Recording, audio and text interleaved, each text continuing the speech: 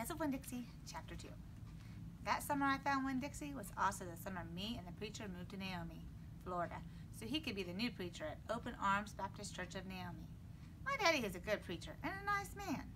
Sometimes it's hard for me to think about him as my daddy because he spends so much time preaching or thinking about preaching or getting ready to preach. And so, in my mind, I think of him as the preacher. Before I was born, he was a missionary in India. That is how I got my first name. But he calls me by my second, Opal, because that was his mother's name, and he loved her a lot. Anyway, while me and Winn-Dixie walked home, I told him how I got my name, and I told him how I had just moved to Naomi.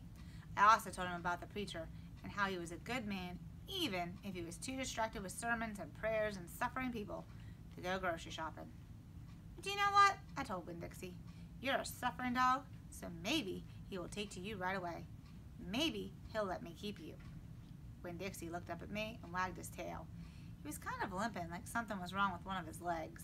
And I have to admit, he stunk. Bad.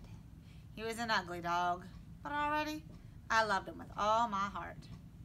When we got to the Friendly Corners trailer park, I told Winn-Dixie that he had to behave right and be quiet because this was an all-adult trailer park and the only reason I got to live in it was because the preacher was a preacher and I was a good, quiet kid. I was what the Friendly Corner trailer park manager, Mr. Alfred, called an exception. And I told Winn-Dixie he had to act like an exception too. Specifically, I told him not to pick any fights with Mr. Alfred's cats or Miss Detweiler's little yappy York dog, Samuel. Winn-Dixie looked up at me while I was telling him everything, and I swear he understood. Sit, I told him when we got to my trailer. He sat right down. He had good manners. Stay here, I told him. I'll be right back. The preacher was sitting in the living room, looking at the little fold-out table. He had papers spread all around him, and he was rubbing his nose, which always means he's thinking hard. Daddy? I said. Hmm? He said back. Daddy, you know how you always tell me that we should help those less fortunate than ourselves? Mm-hmm, he said. He rubbed his nose and looked at uh, around at his papers. Well, I said, found a less fortunate at the grocery store. Is that right? he said. Yes, sir, I told him. I stared at the preacher really hard. Sometimes he reminded me of a turtle hiding inside its shell, in there thinking about things and not ever sticking his head out into the world. Daddy, I was wondering, could this less fortunate, could he stay with us for a while? Finally, the preacher looked up at me.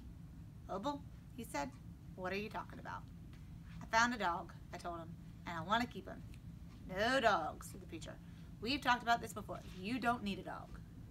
I know it, I said. I don't need a dog, but this dog needs me.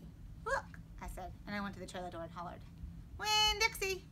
Winn-Dixie's eyes or ears shot up in the air, and he grinned and sneezed. And then he came limping up the steps into the trailer and put his head right in the preacher's lap, right on top of a pile of papers. The preacher looked at Winn-Dixie. He looked at his ribs and his matted up fur and the places where he was bald. The preacher's nose wrinkled up. Like I said, the dog smelled pretty bad. Winn-Dixie looked up at the preacher. He pulled back his lips and showed the preacher all his crooked yellow teeth and wagged his tail and knocked some of the preacher's papers off the table. Then he sneezed and some more papers fluttered to the floor. What did you call this dog? The preacher asked. Winn-Dixie, I whispered. I was afraid to say anything too loud. I could see that Winn-Dixie was having a good effect on the preacher. He was making him poke his head out of its shell. Well, said the preacher, he's a stray if I ever seen one. He put down his pencil and scratched Winn-Dixie behind the ears. And a less fortunate, too. That's for sure. Are you looking for a home? The preacher asked, real soft, to Winn-Dixie. Winn-Dixie wagged his tail. Well, the preacher said, I guess you found one. That's chapter two.